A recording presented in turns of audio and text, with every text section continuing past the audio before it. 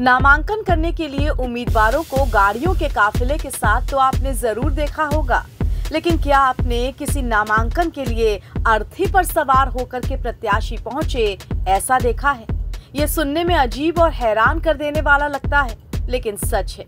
ऐसा हुआ है गोरखपुर में। यहाँ से निर्दलीय चुनाव लड़ रहे राजन यादव उर्फ़ अर्थी बाबा अर्थी पर सवार होकर कलेक्ट्रेट ऑफ़िस पहुँचे और अपना नामांकन किया। गोरखपुर लोकसभा चुनाव को लेकर नामांकन की प्रक्रिया जारी है। सातवें चरण में एक जून को होने वाले चुनाव के लिए प्रत्याशी लाव लश्कर के साथ नामांकन करने पहुँच रहे हैं। ऐसे में एक प्रत्याशी अर्थी पर बैठकर नामांकन करने कलेक्ट्रेट पहुँचा तो लोग हक्का बक्का रह गए। देखते ही देखते भीड़ इकट्ठी हो गई। लोग प्रत्याशी के इस अनोखे अंदाज को देखकर चर्चा कर रहे हैं। लोगों का कहना है कि आखिर कोई अर्थी पर सवार होकर नामांकन करने कैसे आ सकता है? बता दें कि राजन यादव उर्फ़ अर्थी बाबा के पास एमबीए की डिग्री है, मगर उन्होंने नौकरी ज्वाइन न कर समाज सेवा में उतरने का मन बनाया और वो पिछले कई चुनाव लड़ चुके हैं। लोकतंत्र का जनाजा लेके यहाँ नॉमिनेशन करने आया हूँ। ये अर्थी नहीं है, ये भ्रष्ट व्यवस्था की अर्थी है। ये भ्रष्ट व्यवस्था का जनाजा है।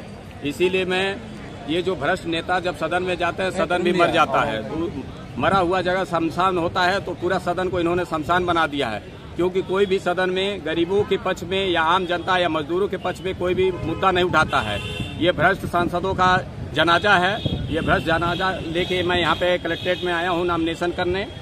देखिए किसको दोषी मानते हैं? मैं दोषी मानता हूँ व्यवस्था की। और जो भी सत्ता में जा रहा है ये अपनी अपने पैसा कमाने के लिए जा रहा है अपना धन पशु बन के जा रहा है ये जनता के लिए नहीं जा रहा है। देखिए आम जनता का कोई भी मुद्दा नहीं देखिए बेरोजगारी इतनी चरम सीमा पे है कोई भी काम इस पे नहीं बोलता है।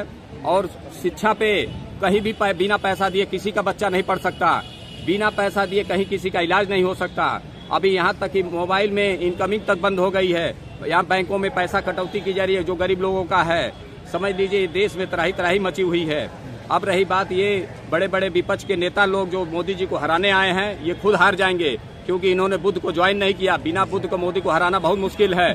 अगर बुद्ध को ये जानेंगे, शिक्षा को जानेंगे, शिक्षा का प्रचार करेंगे, तभी ये चुनाव फिर से जीत सकते हैं। राजन यादव को लोग अर्थी बाबा के नाम से ज़्यादा जानते हैं। अर्थी बाबा ने सिर्फ़ अर्थी पर बैठकर नामांकन ही नहीं किया, बल्कि उन्होंने तो शमशान घाट में अपना चुनावी ऑफ़िस भी बनाया हुआ है।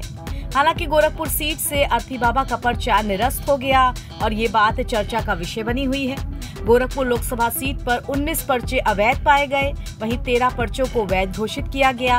बांसगांव लोकसभा सीट पर तीन पर्चे अवैध पाए गए और आठ पर्चों को वैध घोषित किया गया है।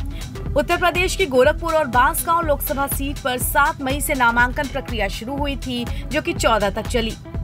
अब दो दिनों के लिए नामांकन पत्रों की जाँच की जाएगी और इसके बाद 17 जून को नाम वापसी का आखिरी दिन होगा।